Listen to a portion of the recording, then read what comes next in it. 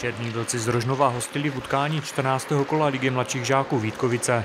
Domácí ve žlutých dresech dali dohromady pouze dvě pětky a to na výběr extraligového klubu nemohlo stačit. V této první třetině prohrávali golem z úvodu zápasu 0-1. Hosté měli výraznou převahu, ale rožnovští se dlouho úspěšně bránili. Až v 18. minutě dostal Stibor Puk za záda Bartošáka a zvýšil náskok Vítkovic. Z druhé třetiny neuběhla ani minuta. Kojda podrazil protihráče a hosté hráli přesilovku. Rožnov i v oslabení mohl skórovat. Do odkryté obrany ujel Drastík a z jeho přihrávky vypálil Němec. Střelu stihl golman Slíž vyrazit. Hosté udeřili chvíli na to. Vítkovický kapitán Stibor se trefil po třetí za sebou a bylo to 0-3. Rožnovu pomalu docházely síly. Drastík se ještě pokusil překonat slíže, ale neuspěl. Naopak Skřipčák dal na začátku 30. minuty čtvrtý gol hostů a o výsledku zápasu bylo rozhodnuto.